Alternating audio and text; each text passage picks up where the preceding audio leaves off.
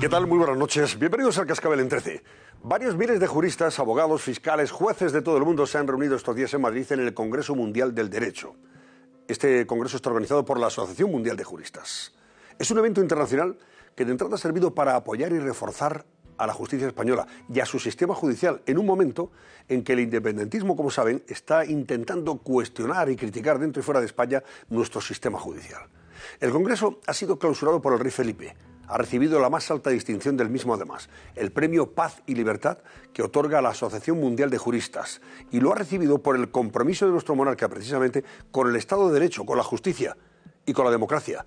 Y que solo antes habían recibido muy poquitas personalidades, cuatro, tres o cuatro, que recuerde, entre ellas Winston Churchill y Nelson Mandela.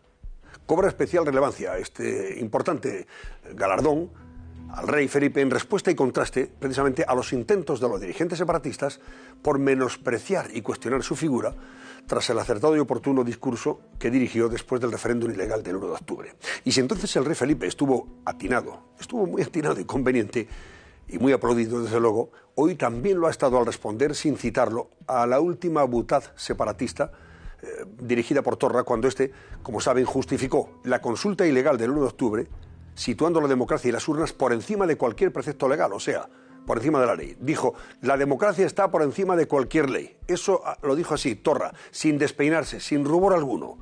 Quien tiene un problema con el principio de legalidad, o sea, con las leyes, añadió es España, no nosotros. Oye, y no se despeinó el señor Torra.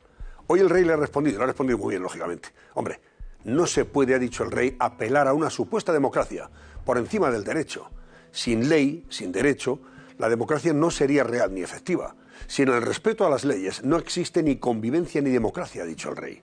O sea que le ha faltado decir, hombre, entérese ya, señor Torra. Eso lo añadimos nosotros. Pero en cualquier caso, a ver si se enteran de una vez los separatistas y dejan de anteponer la falacia de las urnas y de la democracia a la ley y al Estado de Derecho, como siguen haciendo, de hecho, en su defensa los dirigentes que están siendo juzgados por el Tribunal Supremo. Por todo esto, eh, cobra mucha más importancia y relevancia esas palabras pronunciadas por el rey y el galardón que ha recibido de juristas de todo el mundo por su defensa del Estado de Derecho y por ende también de la democracia.